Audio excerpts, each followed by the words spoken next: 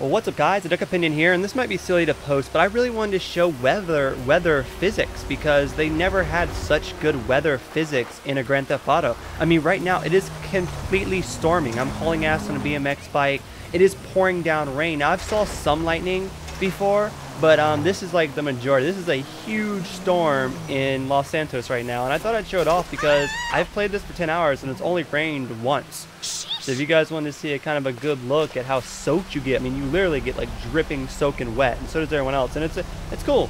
I mean, I really, really love the rain physics. I want to see them more. Like, I want to see some lightning and all that great stuff. But if I can get some more footage of like some lightning, or hell, even if it snows, I don't think it does, but even if it does, we'll show you. But this rain, I think it's pretty awesome. As I roll up to to Michael's house, you can't even do this mission unless you're Michael. But despite that, I want to show you the BMX in the rain. You can still do bunny hops and all that stuff, so hopefully maybe we'll make a compilation video of doing some cool stuff. But there's the thunder.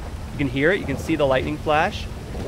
It's pretty awesome. I think the effects are amazing. But I think this game's pretty amazing. I mean, some parts some parts aren't as posh as I wanted them to be, but the overall appeal is just great. So let me know what you guys think about the rain. I think it looks really, really good. And I will talk to you guys in the next video. Dust can fly. Like the video.